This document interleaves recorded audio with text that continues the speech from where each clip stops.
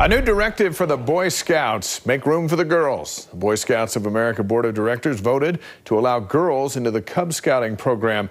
And that's not all. News specialist Alex Cabrero is live outside the Boy Scout headquarters here in Salt Lake. And Alex, how will the girls be mixed in with the boys?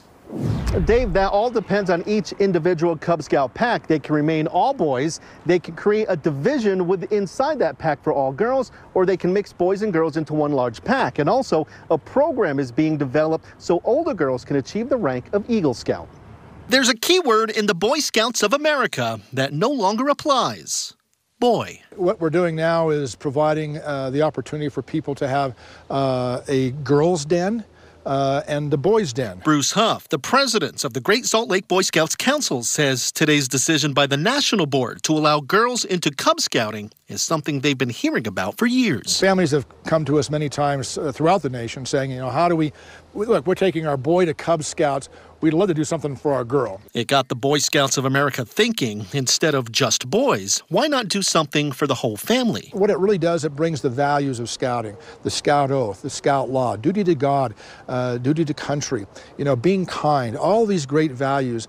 It makes it available to everyone in our community. So, really, we are. We asked Janet Frazier, the CEO for Girl Scouts of Utah, which is separate from Boy Scouts, if this announcement worries her. It does not concern us because we know that the program that we offer um, really resonates with girls and families, and and we res- we will keep doing that. Frazier says Girl Scout numbers are on the rise in Utah, and doesn't think the Boy Scouts will stop that. Which just means more girls can connect in a small group setting, in a safe girl environment. They can um, have a place where they can learn to take a risk and explore new things without distractions of boys or teachers or things like that.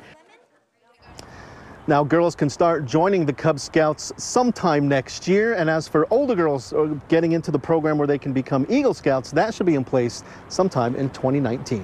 Dave? Alex Cabrero live for us tonight in Salt Lake. Thank you, Alex. Steve?